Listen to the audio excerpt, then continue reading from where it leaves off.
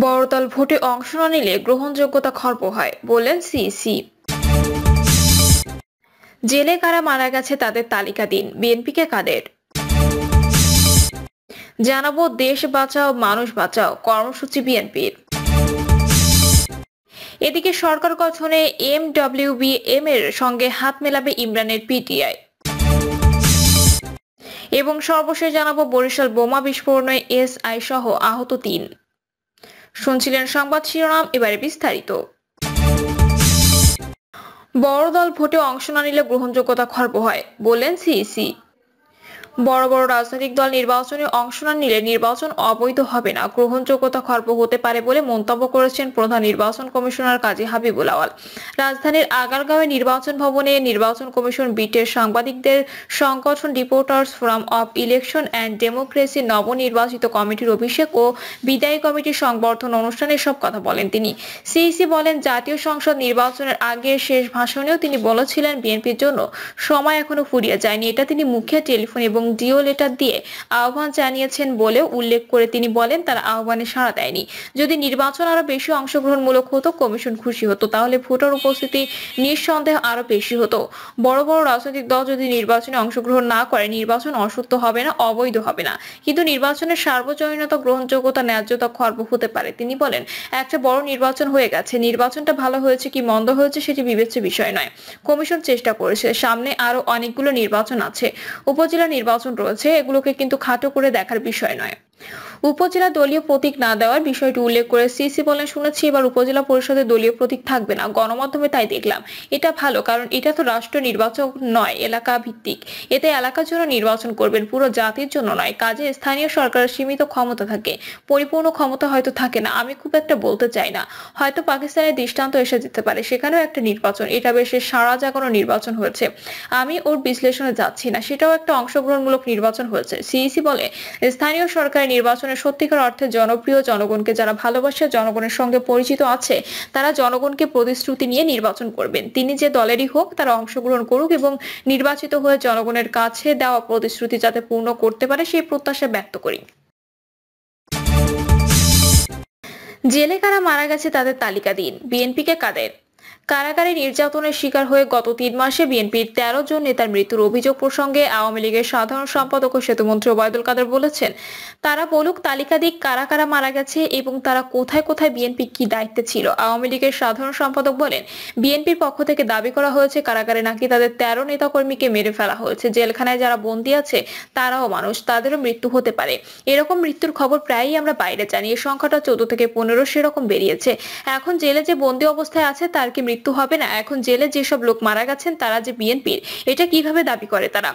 তাহলে তারা তালিকা দিক কারা কারা মারা গেছে এবং তারা কোথায় কোথায় বিএনপির কি দায়িত্বে ছিল, তিনি আরও বলেন। আমরা গুমের অনেক খবর জানি। কক্সবাজারের সালাউদ্দিন যখন ওপারে ধরা পড়ে, তখন সে ঘুরে বেড়াচ্ছিল রাস্তায়। ধরা পড়ার আগে বিএনপি অপপ্রচারই করেছিল যে সালাউদ্দিনকে গুম করা হয়েছে। তারপর একজন প্রখ্যাত সাংবাদিক ফরহাদ মজার তার সম্পর্কে একই রকম অপপ্রচার করা হয়েছিল।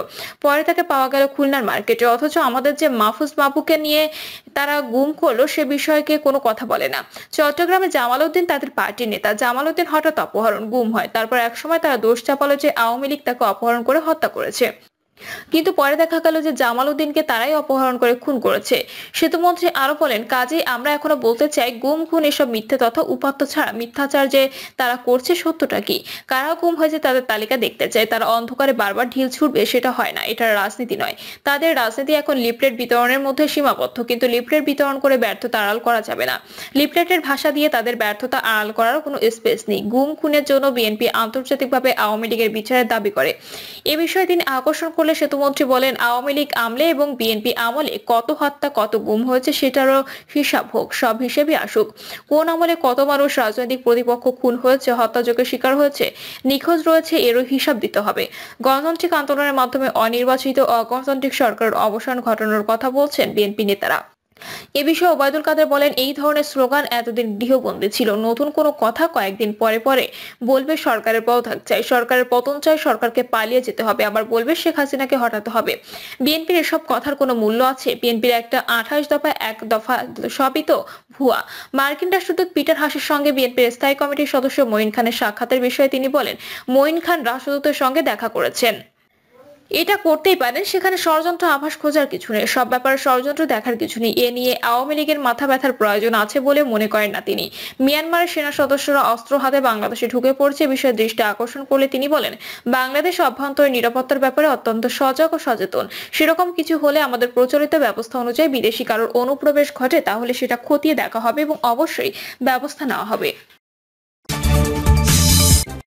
দেশ বাঁচাও, মানুষ বাঁচাও কর্মসূচি বিএনপির দেশ বাঁচাও, মানুষ বাঁচাও শিরোনামে একটি প্রচারপত্র তৈরি করে সেটি সারা দেশে বিতরণের মাধ্যমে গণসংযোগ কর্মসূচি শুরু করেছে বিএনপি। গত সাতই জানুয়ারি সংসদ নির্বাচনকে জামি আখ্যায়িত করে তা বাতিলের দাবি ছাড়াও সরকারের পদক ও নির্দলীয় সরকারের অধীনে অবাধ নির্বাচন দাবি করা হয় প্রচারপত্রে।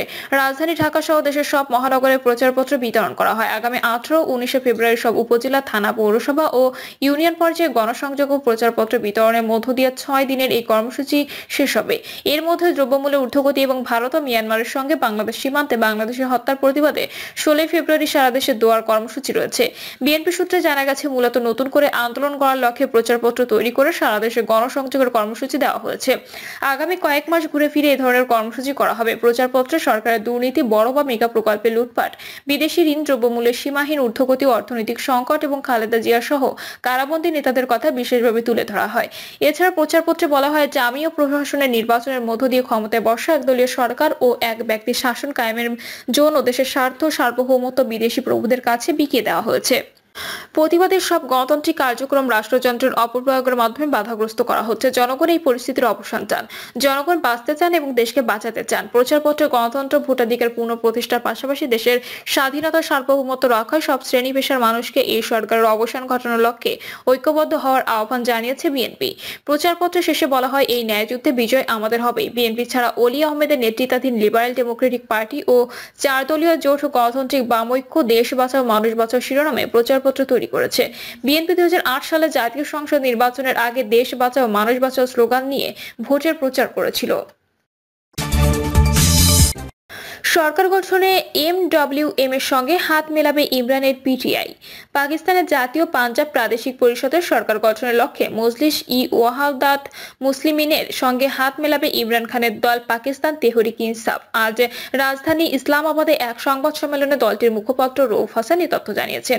রৌফ হাসান বলেন, সরকার গঠনে পাকিস্তান মুসলিম লীগ নওয়াজ, পাকিস্তানের পিপলস পার্টি ও মুত্তাহিদা কওমি মুভমেন্ট পাকিস্তানের সঙ্গে জোট করতে বারণ করেছে পিটিআই এর প্রতিষ্ঠাতা ইমরান খান।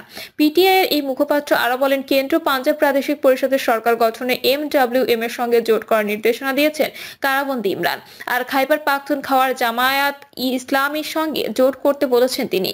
আটই ফেব্রুয়ারি নির্বাচনে যারা বিজয়ী হয়েছেন, তাদের সরকার গঠন করা উচিত মন্তব্য করে রৌফ হাসান বলেন, গণতান্ত্রিক মূল্যবোধ অটুট রাখতে পিটিআই যে সংগ্রাম করছে তা চালিয়ে যেতে পিএমএলএন, পিপিপি ও এম কিউ এম পি বাদের সব দলের সঙ্গে কাজ করার নির্দেশনা দিয়েছে ইমরান।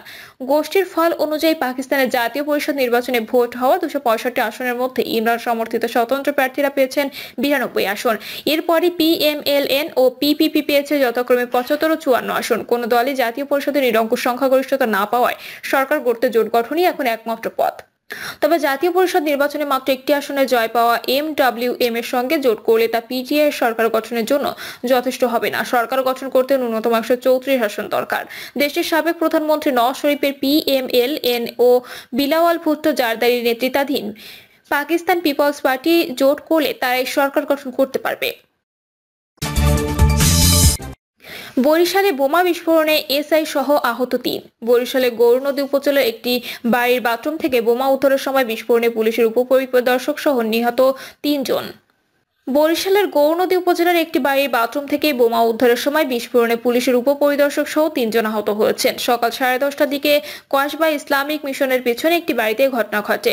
আহতরা হলেন পুলিশের উপপরিদর্শক কামাল, কনস্টেবল মিজান ও বাড়ির মালিক মাসুদ হাওলাদার। গৌরনদী থানার ভারপ্রাপ্ত কর্মকর্তা আনোয়ার হোসেন এই তথ্য নিশ্চিত করেছেন। তিনি বলেন, মাসুদ হাওলাদার নামে এক যুবক বাবা মা মারা যাওয়ার পর একাই ওই বাড়িতে থাকতেন। ওই বাড়িতে তিনটি বাথরুম রয়েছে। সকালে বাথরুম তালাবদ্ধ পেয়ে দরজা ভেঙে বালতিতে বোমা দেখতে পান মালিক মাসুদ হাওলাদার। এরপর পুলিশ খবর দেন তিনি। পরে এসআই কামাল কনস্টেবল মিজানকে নিয়ে ঘটনাস্থলে যান। এ সময় বোমা উদ্ধার করতে গেলে বিকট শব্দে তা বিস্ফোরিত হয়। এতে এসআই সহ তিনজন আহত হন। আহতদের উন্নত চিকিৎসার জন্য শেরেবাংলা মেডিকেল পাঠানো হয়েছে। ঘটনা তদন্ত করে পরবর্তী বিষয়ে জানানো হবে বলে জানানো সি প্রিয় দর্শক, এই ছিল এখনকার সর্বশেষ সংবাদ। আপডেট সব সংবাদ পেতে চ্যানেলটি সাবস্ক্রাইব করে বেল আইকনটি ক্লিক করে রাখুন।